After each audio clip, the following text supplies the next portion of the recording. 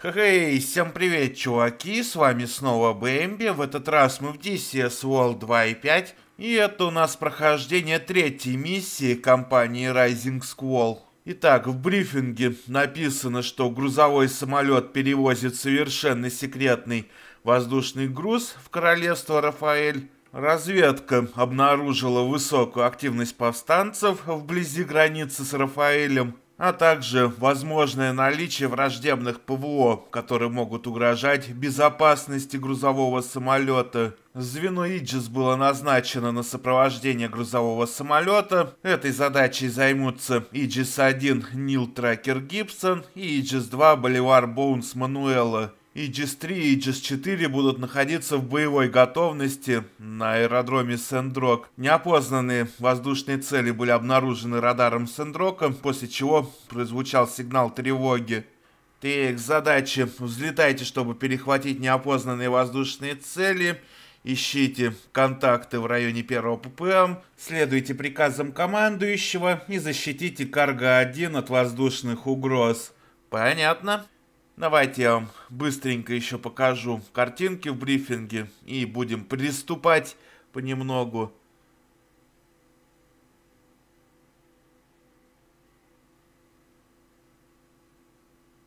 И поехали. Вот нам показывают аэродром, с которого мы будем производить взлет. В общем-то, первая пара Иджис уже взлетает. На полосе можете их наблюдать.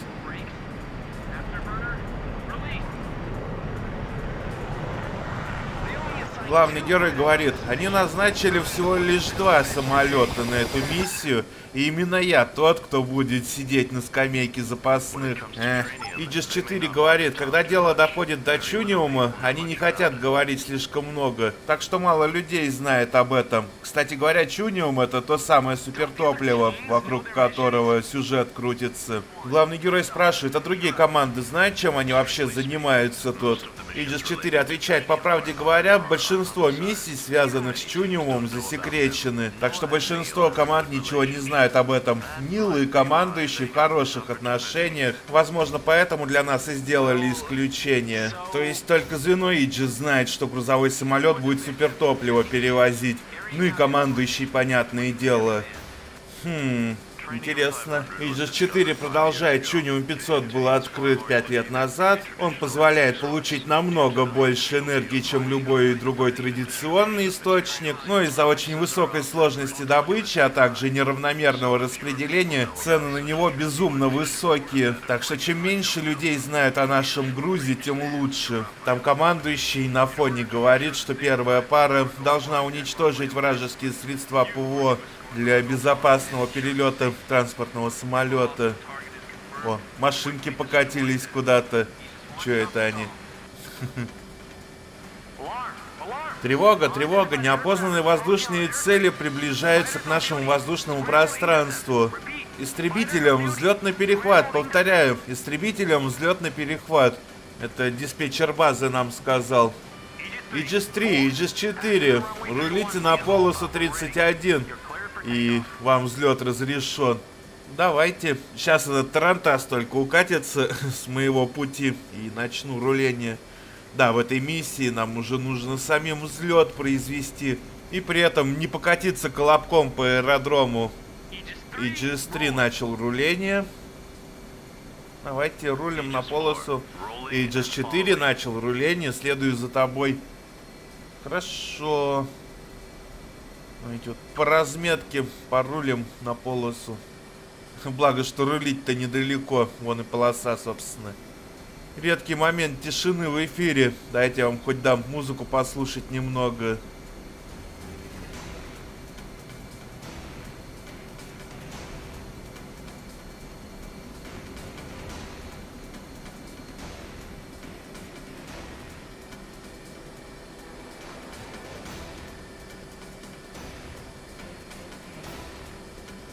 А то большую часть времени музыку не слышно, поскольку она перебивается переговорами. И ведь погромче ее не сделаешь, поскольку если увеличишь громкость шлемофона в настройках аудио, то и переговоры громче станут. Ну, в любом случае, на полосу 31 я вырулил. И давайте сходу сразу начну взлет, поскольку у нас тут чрезвычайная ситуация, как-никак. Форсаж. Начинаю разбег вдоль полосы.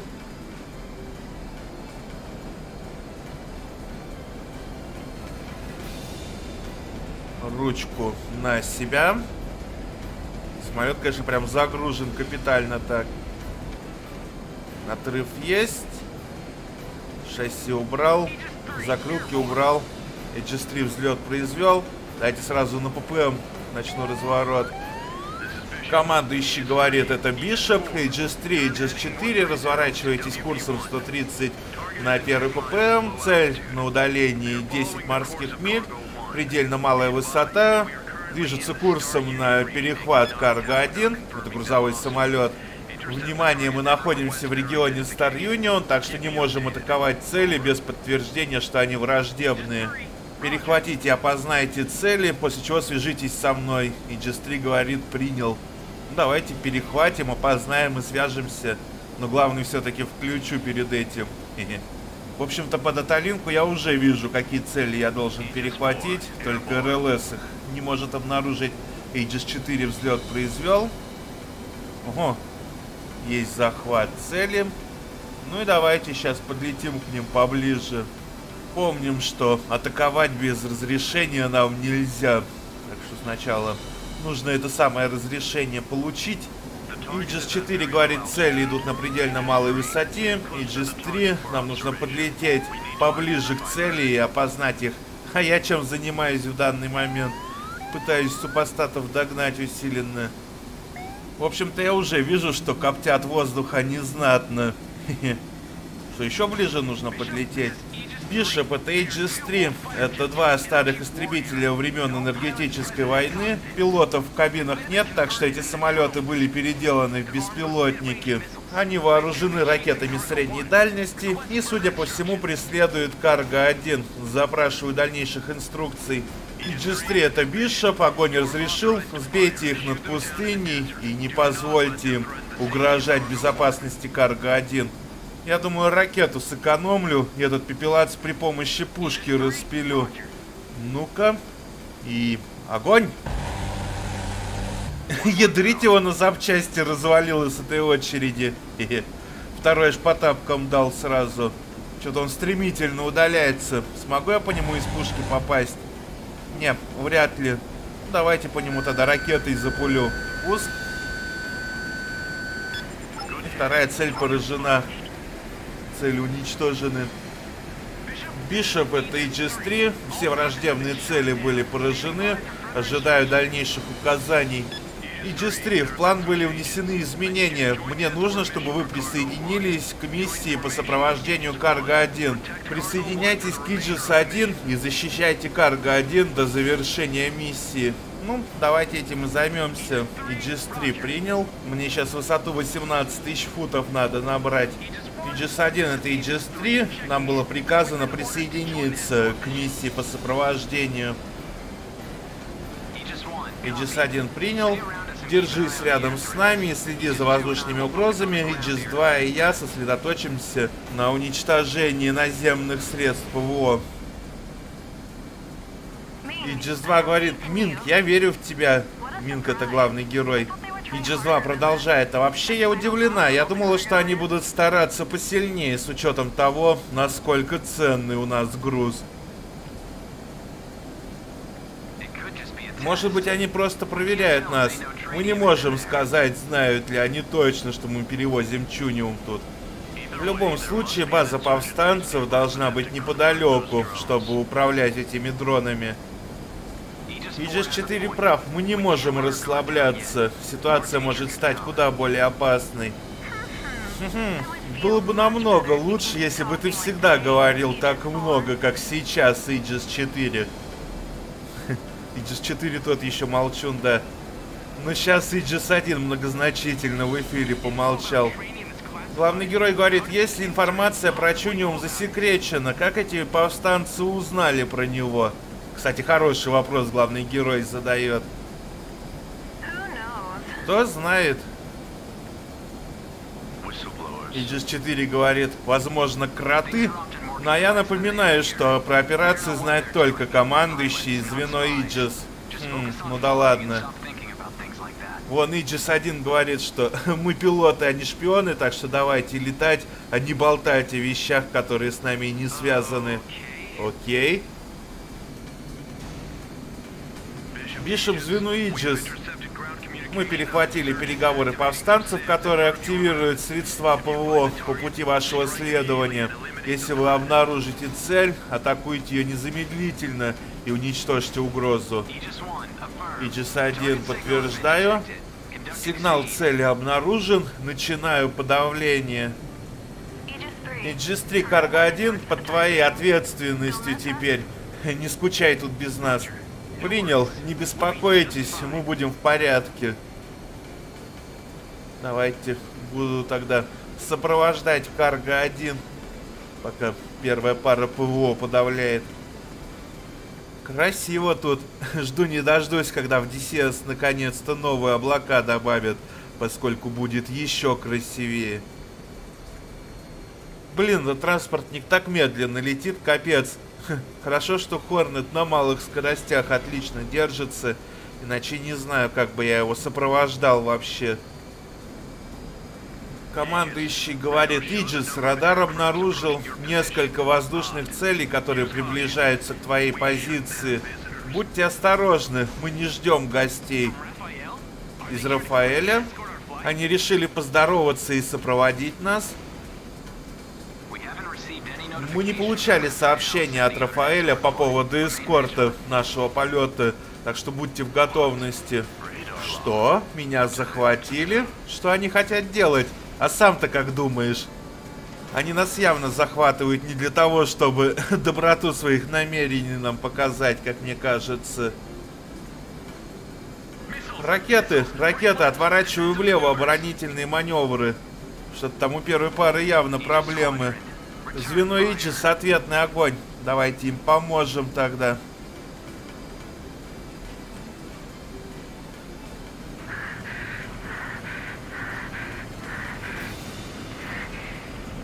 Что там происходит? Проклятие! В меня попали! В меня попали! Иджис 2 говорит. Иджис 2, доложи статус.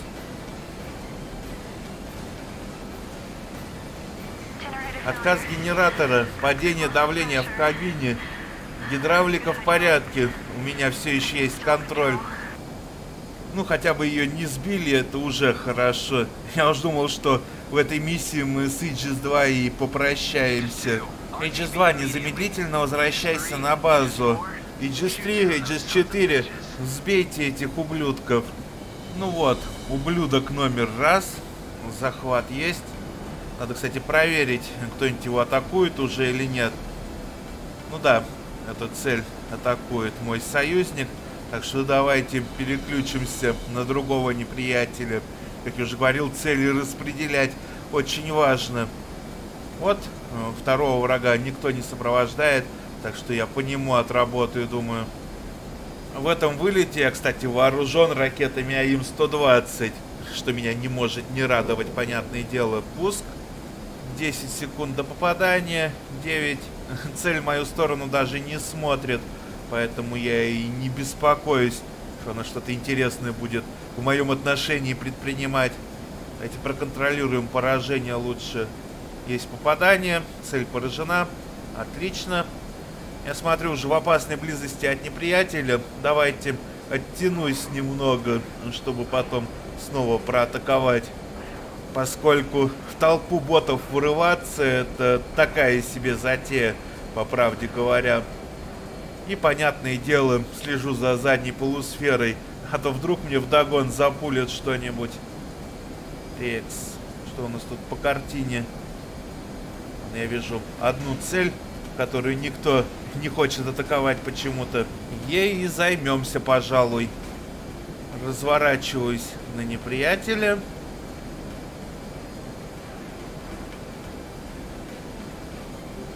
Захват.